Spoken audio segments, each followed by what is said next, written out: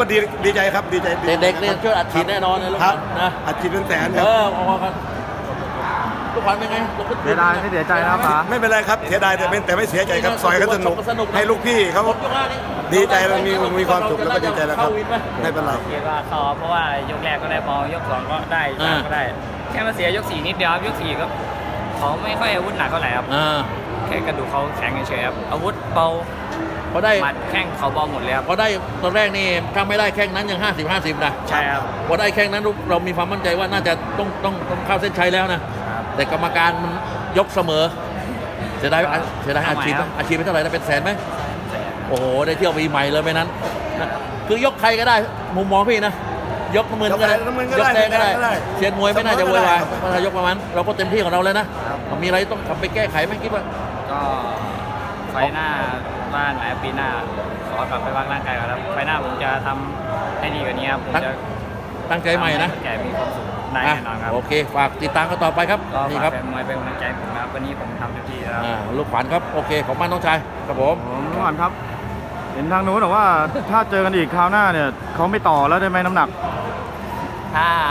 124 124ก็ได้ครับถ้า123 22 ไม่ไหวแล้วครับ อ่าเราทำลงไปไม่ไหวเนอะจะทำไม่ได้แล้วครับถ้าต่อยร้อยยี่สิบสี่เท่ากันได้ ครับ24 25ได้ครับอืมเพราะเขาว่าถ้าเจออีกเขาไม่อยากต่อให้แล้ว เพราะว่าเราก็แข่งเหมือนกัน ครับ อ่าโอเคครับ ฝากถึงไฟหน้า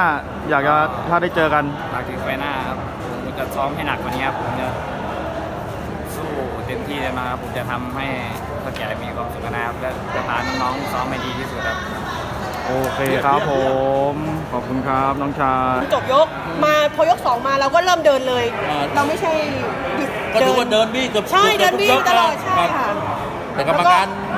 ให้เสมอกันไปโอ้ช่วงอัดฉีดเท่าไหร่อาเทพน่าจะหลายอยู่นะเป็นแสนค่ะเป็นแสนนะค่ะมวยเป็นแสนะนอัดฉีดที่มีสองข้างแหละเราก็มีฝั่งนู้นก็มีใช่ใช่ค่ะกับต้องมีทีมงานกับฝั่งนู่นกับบนบนล็อกก็มีต้องค่ะมีภาคแน่นอน แต่เราก็ทำหน้าที่ได้ดีแล้วนะใช่หมดยกห้านี่เราก็ยังมั่นใจว่าคิดว่าเราน่าจะได้รับการชูมือนะมั่นใจครับ เพราะว่ายกสี่ได้โกเออเอได้อเยอะได้ได้เยอะค่ะได้ทำมาเยอะ ได้โกเยอะยกสี่เอาละเรามองไม่เหมือนกรรมการก็เต็มที่แล้วอ้าว มีอะไรคุยกับแฟนมวยทางบ้านหน่อยครับก็ขอโทษเป็นมวยนะครับวันนี้ก็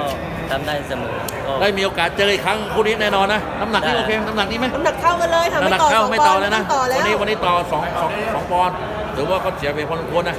อะไม่เป็นไรฝากติดตามกันต่อไปครับฝากเจอพีเคเขาใหญ่นี่ครับโลกพี่น้อยนะผมดู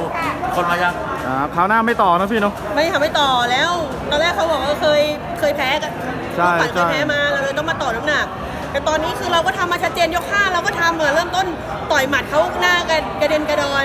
อืมอืมจะถือว่ายอมรับความตัดสินนะครับใช่ค่ะโอเคครับผมขอบคุณครับค่ะ